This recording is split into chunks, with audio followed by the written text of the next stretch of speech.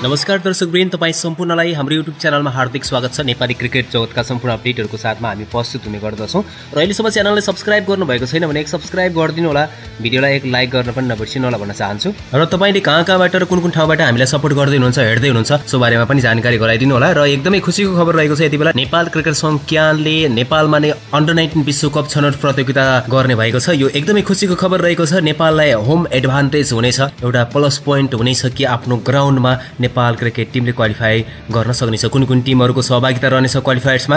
र under nineteen विश्वकप कहिले हुनेछ र कुन कुन टिमको सहभागिता रहनेछ र यहाँबाट चाहिँ अन्डर नाइन्टिन विश्वकपमा कति टिम चाहिँ जानेछन् त भन्ने विषयमा चर्चा रहनेछ। भिडियोलाई अवश्य पनि अन्त्यसम्म हेरिदिनु होला। नेपाली क्रिकेट सम्बन्धी सम्पूर्ण अपडेटको लागि च्यानललाई एक सब्सक्राइब गरिदिनु होला र एक लाइक गर्न पनि नबिर्सिनु होला र नेपाल क्रिकेट सङ्घ क्यानलाई धन्यवाद भनेर भन्न पनि नबिर्सिनु होला। अन्तत अन्तर्राष्ट्रिय क्रिकेट परिषद आइसिसीले नेपाललाई नै अन्डर नाइन्टिन विश्वकपको एसिया छनौट प्रतियोगिता सञ्चालन गर्न दिने भएको छ। नेपाल क्रिकेट सङ्घ क्यालले अन्डर नाइन्टिन विश्वकप एसिया क्वालिफायर्स नेपालमा नै गर्न लागेको छ। यो खुसीको खबर रहेको छ। नेपालमा अर्को वर्ष अप्रिलमा अन्डर नाइन्टिन विश्वकपको एसिया छनौट नेपालमा आयोजना हुने भएको छ। छनौट सन् दुई हजार पच्चिसको अप्रिल बाह्रदेखि एक्काइससम्म काठमाडौँमा आयोजना हुने नेपाल क्रिकेट सङ्घ क्यानले जनाएको छ। प्रतियोगितामा आयोजक नेपाल अफगानिस्तान हङकङ ओमान र युएको सहभागिता रहनेछ। प्रतियोगिताको विजेता टिम जिम्बाब्वे र नामेबियामा हुने दुई हजार छब्बिसको अन्डर नाइन्टिन विश्वकपको लागि छनौट हुनेछन्।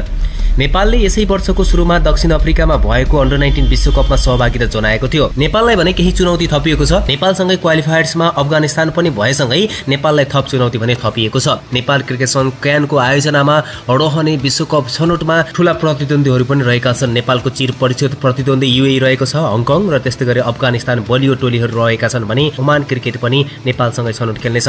अब यसबाट अलिकति बलियो टिम भनेको अफगानिस्तान नेपाल र युए रहेको छ। यो तीन टिम बीच कडा प्रतिस्पर्धा रहनेछ। यस छनौटबाट जम्मा एक टिमले मात्रै विश्वकपमा स्थान बनाउनेछन्। अब यसमा धेरै जसो चान्सेस भनेको अफगानिस्तान रहेको छ र नेपाललाई पनि केही एडभान्टेज हुनेछ। घरेलु मैदान भएको कारणले गर्दा नेपालले पनि शानदार प्रदर्शन गर्दै दुई हजार छब्बिसको विश्वकपमा छनौट हुन सक्नेछ। अन्डर नाइन्टिन विश्वकपको बारेमा मैले चर्चा गर्दैछु। दर्शक महानुभावहरू नेपाली क्रिकेट टिमले अन्डर नाइन्टिन विश्वकप पनि खेलेको थियो। त्यहाँ अफगानिस्तानलाई पराजित गर्दै अघिल्लो सिधै छनौट चरणबाट बाहिर गराएको थियो। त्यो भएको कारणले गर्दा अहिले नेपालसँगै अफगानिस्तान पनि क्वालिफाइड खेलहरू खेल्न लागिरहेको रहेको छ। यो छनौटबाट एक टिम जानेछन्। अफगानिस्तान नेपाल र युएको सम्भावना बढिरहनेछ। विशेष गरेर टेस्ट नेसन युएको सम्भावना नै बढिरहनेछ। र नेपालले पनि केही कमको प्रदर्शन गर्ने छैन। उत्कृष्ट प्रदर्शन गर्दै अफगानिस्तानलाई बिट गर्दै नेपाल क्रिकेट टिम दुई हजार छब्बिसको अन्डर नाइन्टिन विश्वकपमा छनौट हुन सक्नेछ भन्ने चाहिँ हामी शुभकामना दिन चाहन्छौँ। यसको बारेमा अझै थप जानकारीहरू प्राप्त हुनेछन्। यसको बारेमा मैले थप अपडेटहरू लिएर आउने नै छु। दर्शक महानुभावहरू तपाईँलाई के लाग्छ कि अफगानिस्तान युए र नेपाल मध्ये